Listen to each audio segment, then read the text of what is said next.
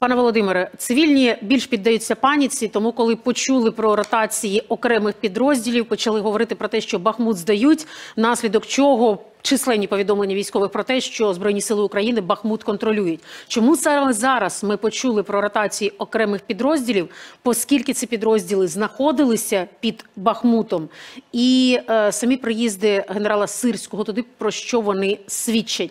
Чи тільки про те, що на місці можна швидко приймати певні рішення і вони швидко можуть виконуватися?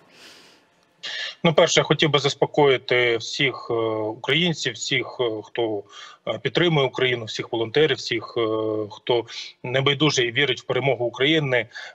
Зараз ніяких настроїв, ніяких вказівок, ніяких рішень щодо відступу з Бахмута, щодо якихось тактичних там змін, щось таке немає. Тобто оборона тримається, тримаємо. Особливо хотів би зазначити героїчність е, протягом останніх кількох тижнів, місяців, навіть е, хлопців з наших побратимів зі збройних сил України, які тримають оцей фронт, південний фронт е, від Бахмута. Це Іванівське, це от де тримають трасу Костянтинівка-Бахмут. Вона відносно стабільна, тобто, не зважаючи на те, що ворог постійно хоче е, захопити, просунутись, перерізати, зайти.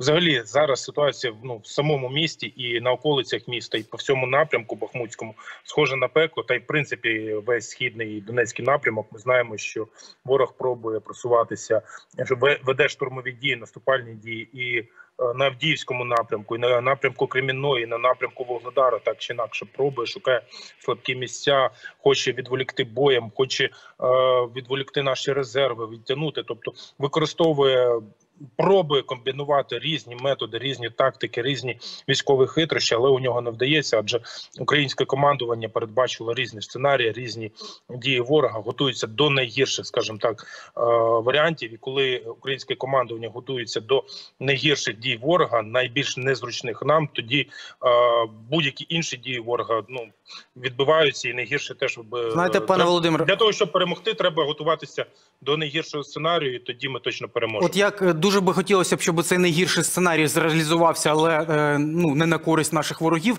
Це те про що говорив Пригожин. Якщо е, Бахмут е, будуть і надалі утримуватиме, то посипеться весь фронт, і відтак їм доведеться звідти тікати. Маю на увазі і пригожинцям, вагнерівцям цим і всім іншим. Але як ви оцінюєте заяву? От ми тут згадували про інститут вивчення війни. А я би згадав тезу від експертів британської розвідки, які днями оприлюднили інформацію, що нібито будуть додатково мобілізовувати вже й неповнолітніх на території Луганської, Донецької е, тимчасово окупованої території. Так само будуть і росіяни змобілізовані, і вони будуть е, кидатися. Ну от фізично, практично в буквальному сенсі, як гармат, як м'ясо, ем, через те, що будуть е, зі стрілецькою зброєю, з автоматами саперними лопатками йти у ближні бої. Е, По-перше, чи готові наші оборонці до такого розвитку подій? По-друге, наскільки це взагалі ефективно? Е, У них снарядовий голод, у них немає чим е, значить, обстрілювати наші позиції, немає техніки за великим рахунком. І от ближній бій, наскільки це може бути ефективно?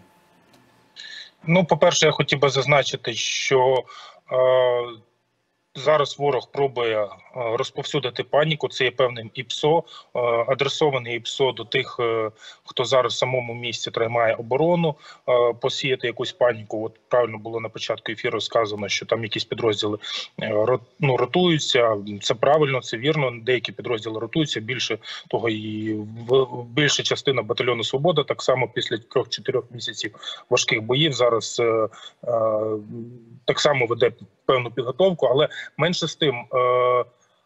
Е, Ротація це добре, але це значить, що і підходить підкріплення інші підрозділи, свіжі підрозділи, оснащені підрозділи, злагоджені підрозділи, боєздатні підрозділи, ну, тобто нові відпочивші підрозділи так само заходять замість тих, які ротуються. Ніякого відступу з міста немає. Навпаки, нові і нові підкріплення сили і засоби приходять в місто для того, щоб тримати оборону. І дуже важливо зараз боротися з тою ІПСО, яку ворог намагається посіяти от певною панікою, тому що е, місто в місто йде постачання, з містом е, є зв'язок, скажімо так, комунікація.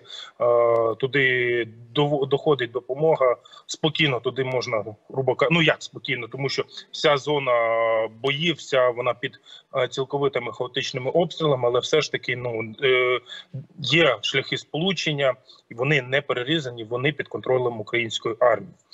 Це по-перше. По-друге, е, дійсно, ви правильно зазначили, є дуже велика вірогідність того, що на фоні того, що вже там 8, по-моєму, чи 9, чи там з червня місяця, чи з липня місяця, е, навіть ну дуже складно рахувати, тому що тут кожен день як вічність, тобто кожна година, кожен день як вічність в цьому пеклі, і дуже складно рахувати, який вже місяць е, тримається місто, тримається Бахмут, тримається східний фронт, е, який день, який місяць перемелюють ті орди е, орків, але дійсно є вірогідність того, що в цих е, безкінеч... е, ці безкінечні міс- місні атаки покажуть безрезультатність, адже вже там навіть не перший день весни, вже там якесь е, березня.